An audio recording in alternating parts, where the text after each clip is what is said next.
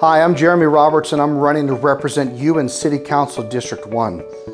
District 1 is among the strongest communities in San Antonio, but a strong community requires strong infrastructure to thrive, and our current leadership has been putting band-aids on broken legs, failing to deliver real progress in our neighborhoods. Construction projects like the ones on Broadway and the St. Mary's Strip are examples of projects that have been wildly mismanaged.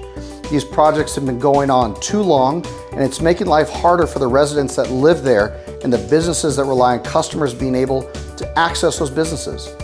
On top of that, many of our streets and sidewalks need repair and we haven't had a champion in City Hall to get those projects to completion.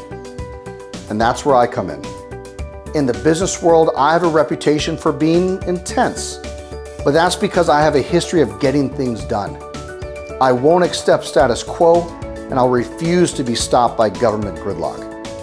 When I'm elected, I'll hold the city accountable and keep those projects on schedule.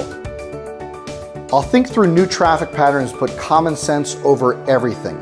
And when you notice cracks in your sidewalks or potholes in the streets, I will ensure my office will provide you with a whole new level of customer service and fast action because customer service is key, even when it's city government.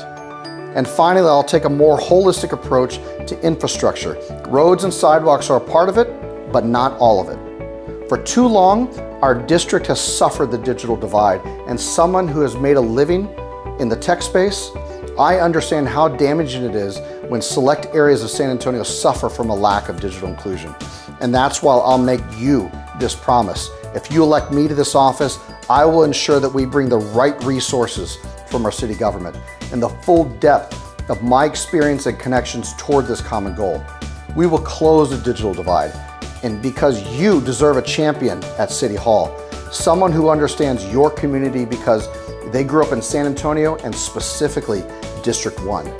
Someone who's sharing in the pain of underfunded infrastructure and flawed leadership, and someone who cares enough to show up and vote for your interests.